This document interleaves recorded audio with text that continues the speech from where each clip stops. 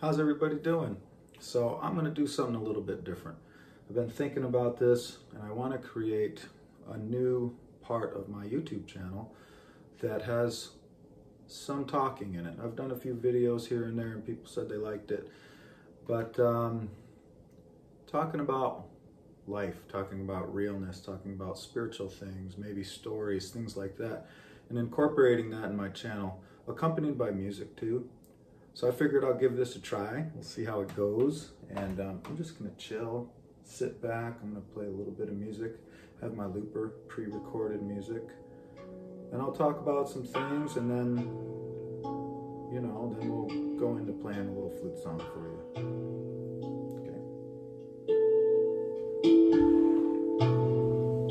Just gonna take a seat here, see how this goes. So I don't know who knows what about me, but uh, me turn this down just a little bit more.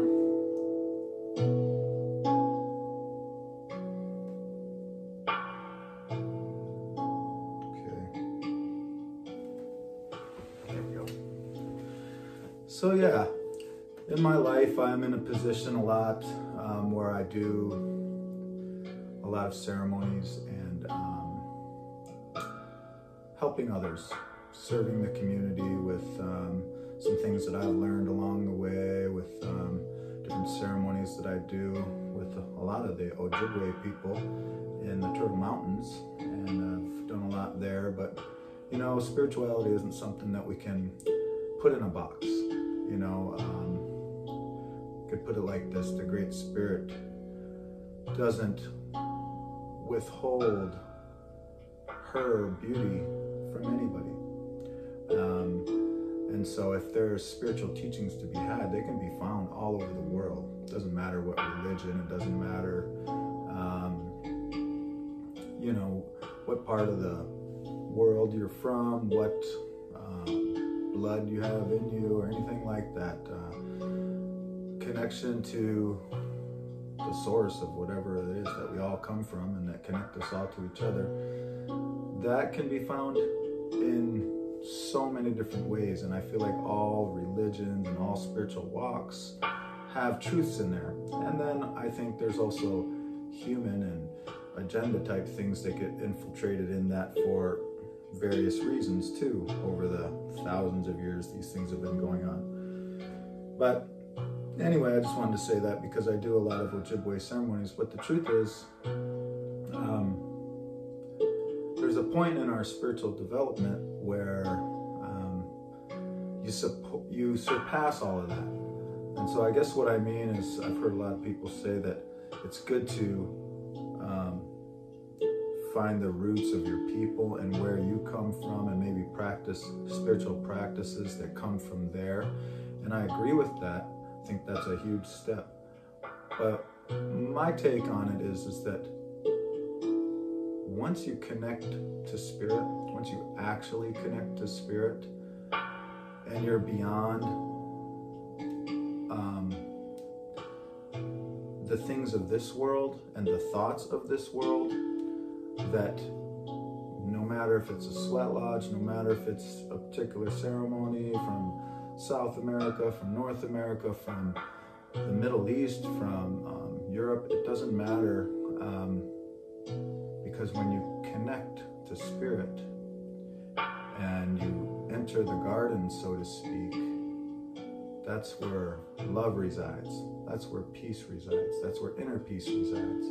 And so I feel like we use these religions, these ceremonies, these practices to connect to something that is beyond all of this human experience, you know, getting back closer to where it is that we come from.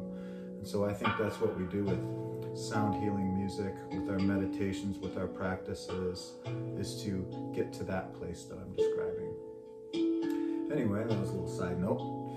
So I've been thinking about um, springtime. It's getting close to springtime. And um, I think of that as rebirthing. And again, in Native American teachings, there's, um, you know, there's the four directions, and that represents many different things. It re- represents the the four nations: the white nation, the black nation, the yellow nation, and the red nation. That's the people all over the world. It represents unity, having global unity. Also represents um, the different uh, stages of life. You know, like newborn, unborn, um, the children, the adult, and the elder. You know, but it also represents the four seasons. And so as we move around that wheel, there's many things that uh, happen. But when we go to the east, that's where we say that uh, the sun rises. That's where we say the season of um, the spring is. And that's where new things come. And it's like a rebirthing time. And I'm actually going through kind of a rebirthing period in my life right now. I'm going through some changes in my personal life. Um, and it hasn't all been easy. I'm, I've been feeling my humanness lately, and it's not always a, com- a comfortable feeling, you know. Boy, I think we all like to feel like we got our poop all together and that everything is grand and great and we're all excited. But what I know is that this human experience has to have all of those things, all of those emotions, all of those feelings. And there's this like idea that maybe I put in my head sometime that I'll get so spiritual that I'll surpass all of that and I'll just be happy all. And I do believe in contentment, but that's a different thing.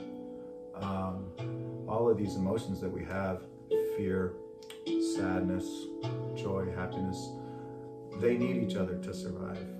And so, you know, when we're in those periods of rebirthing, so to speak, or grieving, or, um, you know, we end up with our face in the mud for a little while, I feel like we, um, that is part of what makes our joy so joyous. That's what, that's part of what makes us grateful for the blessings in our life. And um, it doesn't always feel good to be there. And one of the things I, I was told a long time ago is, is a quote we use in our ceremonies suit up and show up. And that means that if I'm if I'm struggling or if I'm not necessarily feeling inspired or you're in those lulls in life, you keep putting one foot in front of the other. You keep um, playing your flutes, you keep uh, using your spiritual tools, you keep um, you keep practicing your practices, you know, things like that. Even if you're not feeling that inspiration while you're doing it, because that day will come. Well, you'll you'll celebrate again, and so you know that's that's just a little bit about that i think it ties in with the season of the spring here. And um, we all have this thing we think of death and birth and death as like this one thing that happens when we're born and this one thing that happens when we leave this earth. But i feel like it happens in cycles throughout uh, our lives many rebirths and many deaths and that our cells are constantly dying and constantly reforming and rebirthing and i feel like in life we have that and that's about spiritual growth that's about maturity. It's about growing up, you know, and um, it's a beautiful process. And so, in my weak moments, I get to remember that the next phase is coming. The next phase is coming, and I'll be more mature, and I will probably treat myself better, and I will probably treat other people better. And um, if I don't, maybe I'll keep falling on my face. But uh, yes, so that's another thing. And hopefully, if you're my age and you're here and you're doing this life, that this dance of life that we all have to do here, that you can always fall back on looking and knowing that I'm doing better than I was yesterday. You know, and that's an important thing for me is that even though sometimes I feel sad or I, I get the big giant taste of humble pie or if I feel like my ego is being stripped from me, um, I can always look back at when I was in my 20s and boy, I thought I, I was all spiritual and had my stuff all together even way back then. And, um, but there was always room to grow and I continued to learn and I continued to have beautiful, wonderful experiences, but also um, fears and tears and sadness throughout the whole journey. And all of them took me to a next a next phase of my spiritual development. So, so here we are entering the spring. Maybe we can think about these things, and we can think about um, maybe some of the things that we let go at the end of this winter time and moving into spring. What what is it that we can shed off of us to make us feel lighter? Um, what is it that we're putting around us that um, we're trying to protect? Um, and really being able to be open.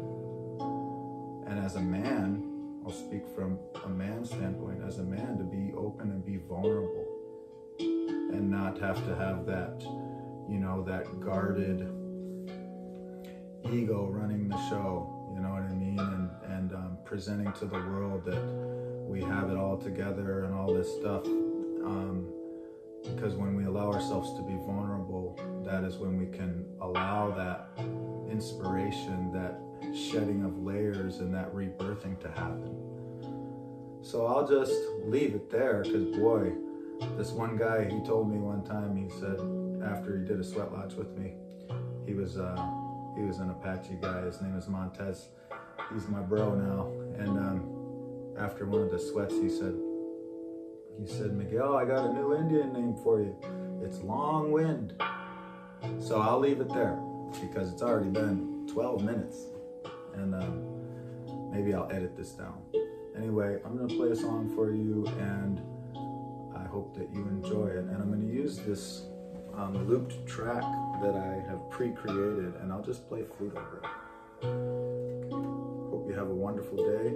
If you're new to my channel, feel free to subscribe. We'd love to share things with you and music and,